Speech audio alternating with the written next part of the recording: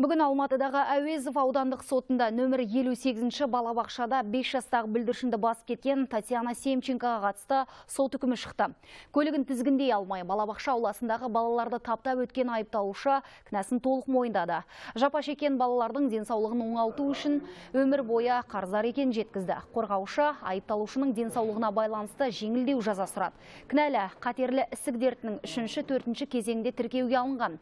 Осыған байланысты қос тарап арасында процессуалды келісім жасалды. Судья Бақытжан Есенов Татьяна Семченканы 2 жыл 6 айға бас бостандығынан айырып жазасын қоныс колонияда өтеу туралы үкім шығарды. Сондай-ақ айыпталушы 5 жыл бойы көлік жүргізу құқығынан айырылды. Үкім заңды күшіне енген жоқ және жарақаты ауыр екі бүлдіршін мен ажал құшқан баланың ата-анасына айыпталушыдан тәркіленген заттардан материалдық шығын төленеді. О признании Семченко.